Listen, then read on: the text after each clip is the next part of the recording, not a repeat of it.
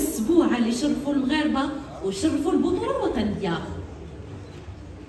وقبل ما تم المنادات عليهم لتمثيل منتخبنا الوطني في مونديال قطر 2022 تاقناوتي وجبران وعطية الله كانوا متألقين مع نادي الوداد البيضاوي بقيادة المدرب السابق للفريق الأحمر وليد بكراكي بحيث توجوا بالبطولة الوطنية الاحترافية لكرة القدم وبالعصبة الإفريقية. وهاد التتويجات زادتهم حماس وعزيمة باش هاد المرة ما يكونوش غير أبطال إفريقيا ولكن يكونوا أبطال العالم.